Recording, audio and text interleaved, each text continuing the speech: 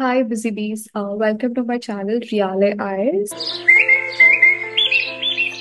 Uh, today, we will explore on a topic on how I successfully applied to a few of the MBA schools without using any consultancies. What is the website that I've used to apply to several colleges, tips and tricks, and how to use that website to the best so that uh, you select the right college uh, while you're applying for uh, masters in USA.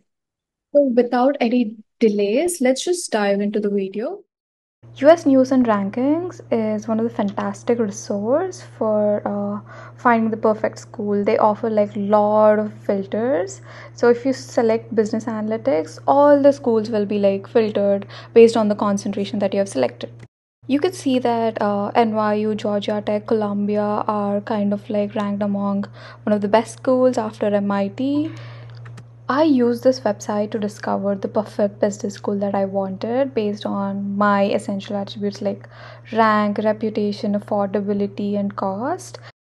You can click on add to compare and compare with other universities based on the tuition fees. And also you can check their ratings and the rankings. Also you can save those schools uh, to your website. So there are a lot of things that you can do from this website University of Texas Austin its tuition fees is like uh, 56000 per year.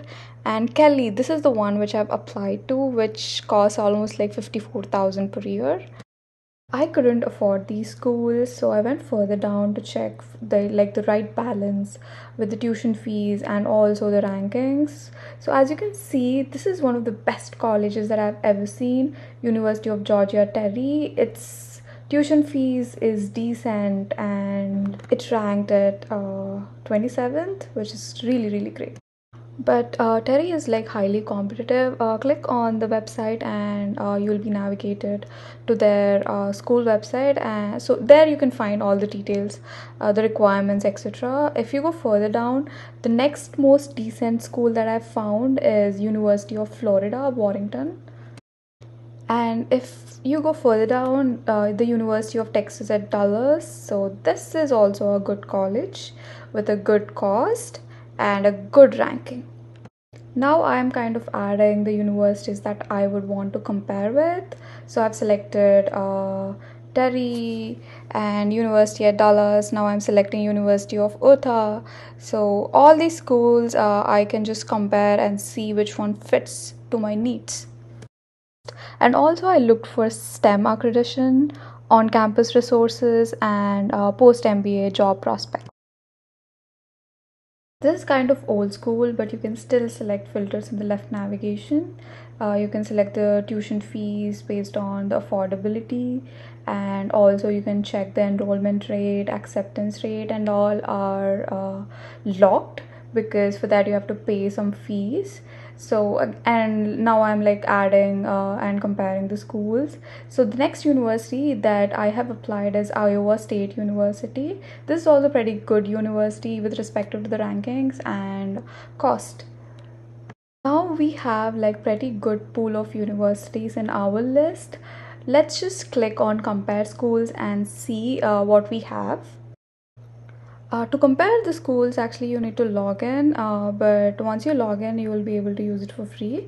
You can see uh, how we are comparing different different universities between stanford university of florida. You can see their cost tuition fees uh, what are the ratings and rankings for uh, university of georgia terry Brigham Young University doesn't have a lot of information in here. It doesn't have what is the in state fees, what is the out of state fee. Generally, uh, they are provided by uh, universities because in state is for the people who are US citizens and who lived in the state for more than two years. Out of state is uh, for somebody like us or someone who's living in a different state.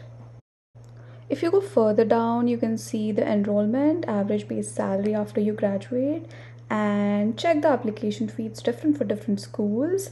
You can see the number of applicants, acceptance rate. So you can find all the necessary information that you need uh, to apply to the college and also you can check on the average age of new entrance into the college and average work experience that they possess. Few of the schools accept a GRE score like this one, uh, University of Utah, and a few other schools have GMAT as the requirement. So, if you don't find that information in this particular website, please do visit uh, the college website so that uh, you have all the right information with you. So, this one use it uh, solely to compare the schools that you wanted to go based on ranking, cost, and the departments and concentrations. Other like uh, other information you can find in their uh, school website. So I will add this particular link below in the description. Uh, thank you so much for watching the video. I hope you all liked it. Uh, if you really like this particular video, please like, share, and subscribe.